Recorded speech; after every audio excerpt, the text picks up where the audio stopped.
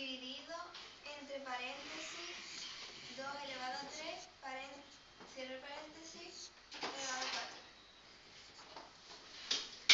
4. ¿Ya está? Sí. Bueno. Yo lo primero que haría sería factorizar el 6 y factorizar el 2. Yo eso es lo que haría. Yo pondría aquí 2 por 3, todo elevado a 2.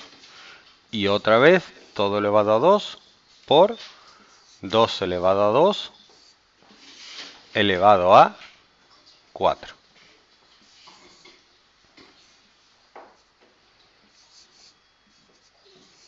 Y ahora tengo que recordar muy bien las propiedades de las potencias. ¿Vale?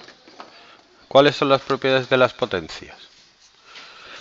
Primero, esto lo puedo separar. Esto sería 2 elevado a 2 por 3 elevado a 2, todo elevado a 2, por 2 elevado a... ¿Qué se hace cuando está uno elevado a otro? 8 dividido 2 elevado a 12.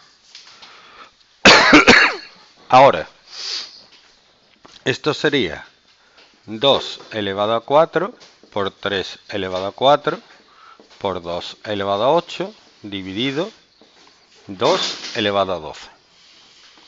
Cuando están multiplicando, esto y esto se suman, ¿no? Sería 2 elevado a 4 por 2 elevado a 8 sería 2 elevado a 12 por 3 elevado a 4 dividido 2 elevado a 12. Si lo pones en fracción, igual lo ves más fácil. Porque esto sería esto, ¿verdad? 2 elevado a 12 se simplifica con 2 elevado a 12 y finalmente queda 3 elevado a 4.